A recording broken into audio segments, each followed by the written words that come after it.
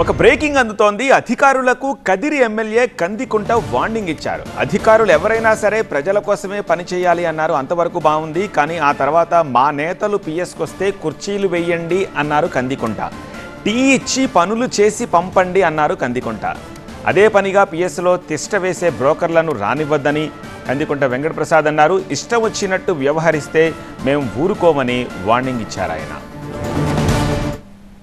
ఇంకా పెద్ద పెద్ద బ్రాండ్ తాగే సరదానికి ఏదైనా చేసుకోండి అది మీ దిశలు మీరు పడుకోండి.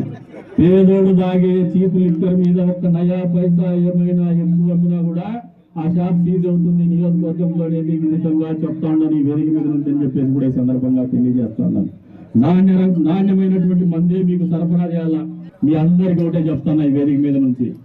ఎవరైనా ఎంఆర్పి మీద చీప్ లిక్కర్ మీద ఒక నయా పైసా తీసుకునే నా దృష్టికి తీసుకురండి షాప్ క్లోజ్ చేస్తాం